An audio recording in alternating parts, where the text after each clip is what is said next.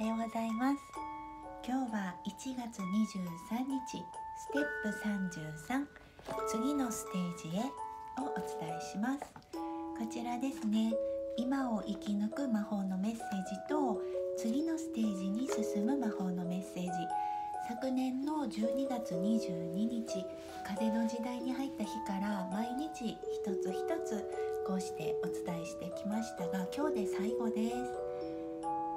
ステップ33次のステージへっていうことで今日ご紹介したいアートがこちらになります。こちらは弥勒菩薩様とこれが布袋様。で下が地蔵菩薩様。でこっちが小菩提様。これ3つともね同じ梵字なんですね。それでこの周りにあのご神言を梵字で書き入れてあるのと南無大師返上今後で弘法大様のご保護ですね。書き入れさせていただいてます。僧侶です。でもう一つ。こちらは弘法大師様を書かせていただいてます。この33ステップね一つ一つ。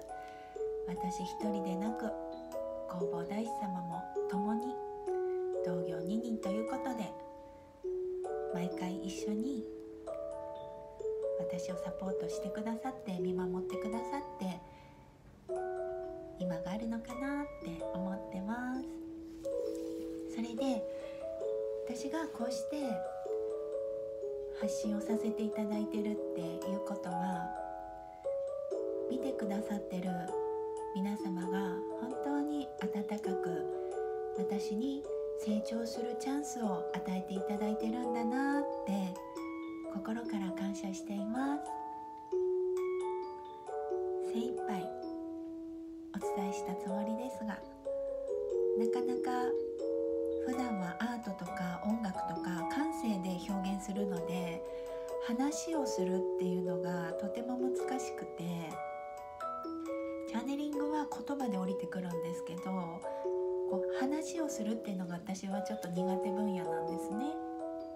なのでとてもあの新しいチャレンジ皆様に育てていただいてるなって心から感謝してます。ありがとうございます。33といえば33観音様。でそれを意識して33のステップにしたわけではないんですけど結果33になったんですね。オーラサマボトルの中に33番ドルフィンボトル目的を持った平和あります。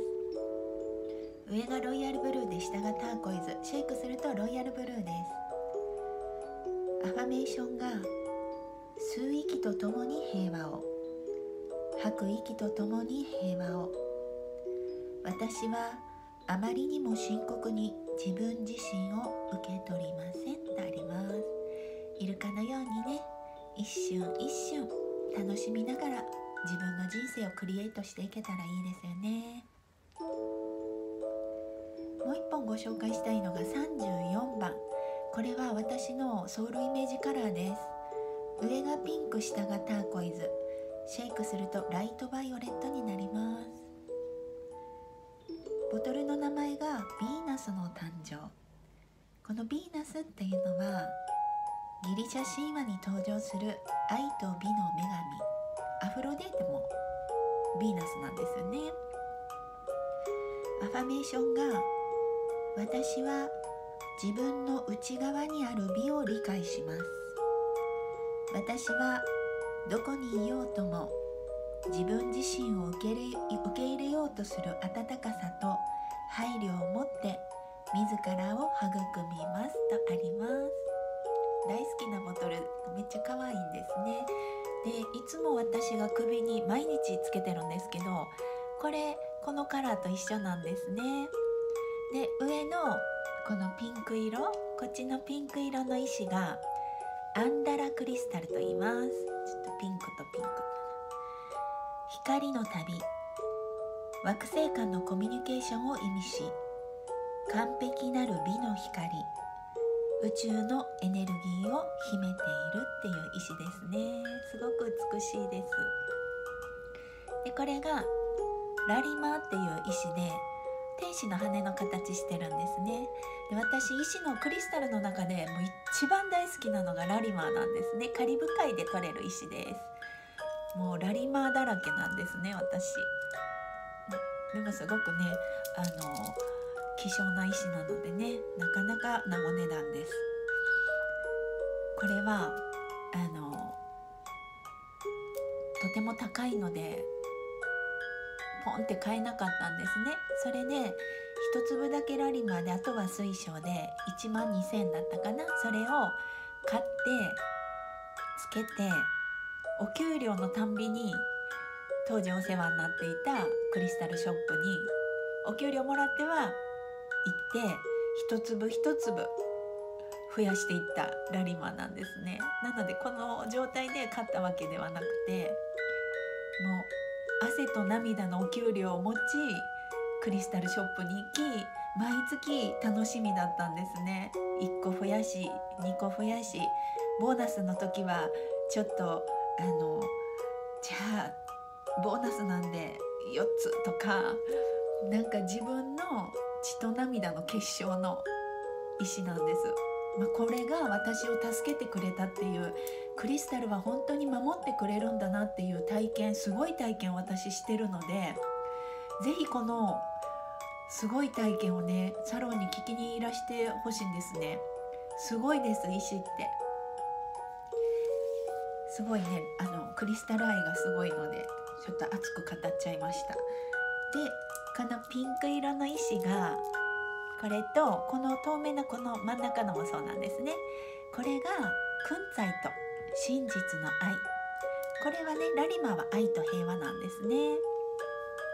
ドルフィンストーンって言われてます。イルカの石ですね。クリスタル大好きな人またお話聞きに来てください。クリスタル大好きですサロンにもいっぱいあります。では次のステージへ。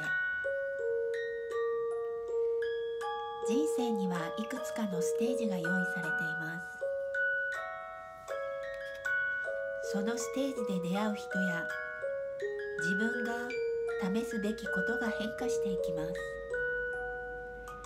どのステージがいいとか悪いとかではなくあなたの人生に用意された最高の舞台であり課題でもありま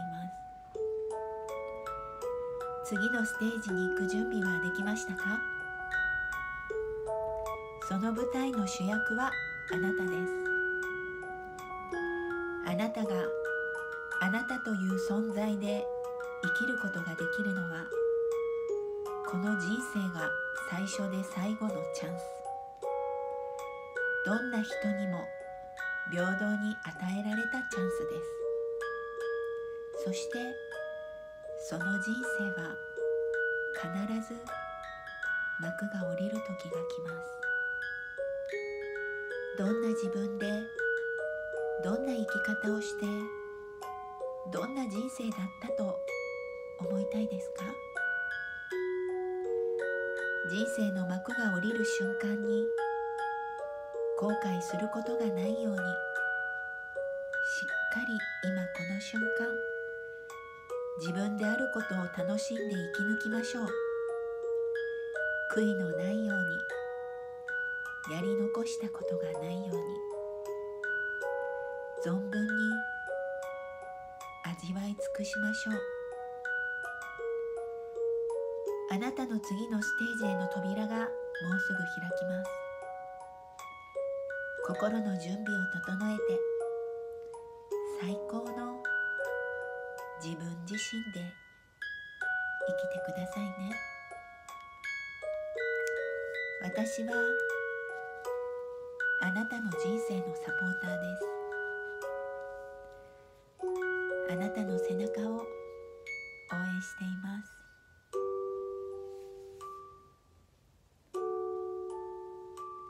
私は私に出会ってくださる一人一人の命がとても愛おしいです。一人一人の命をとても愛しています。出会ってくれてありがとう。ようこさんって慕ってくれてありがとう。仲良くしてくれてありがとう。あなたがあなただから私は愛おしい。本当に同じ時代に同じ日本にそしてそれぞれの人生のストーリーがある中で今こうして出会えていることそれぞれのストーリーを抱えながら生きながらこうして出会えている奇跡私は心から本当に感謝しています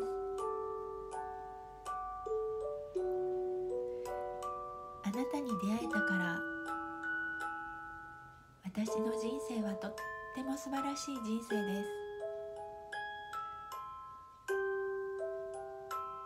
私はあなたの人生を心から応援しています。つもサロンにね来てくださる方が癒され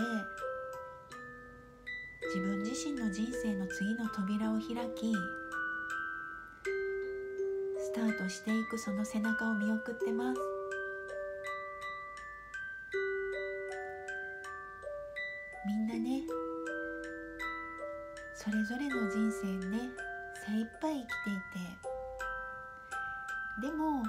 れた時はいつでも笑顔で「おかえり」って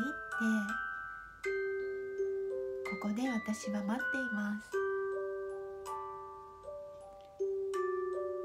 里帰りしてきてくださいねたくさんの命と出会いたくさんの思い出がありますそしてこれからもたくさん出会っていく命がご自身の輝きで次のステージへ歩み出すサポートをさせていただきたいと思っています。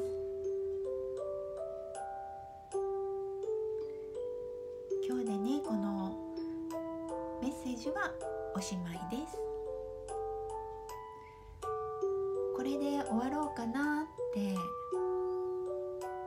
どうしようかなって考えたんだけど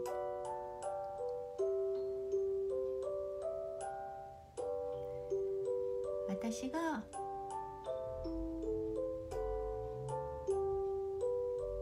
YouTube を始めた時に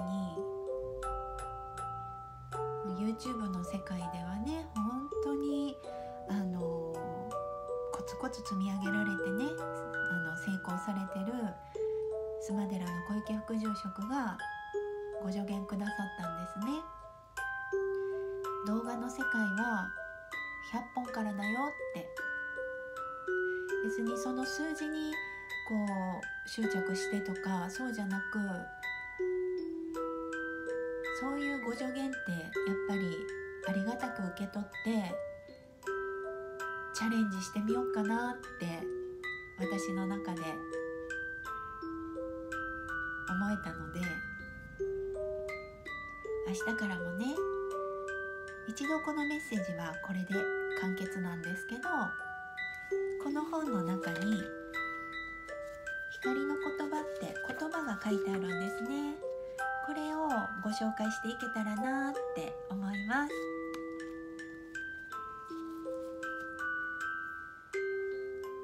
私は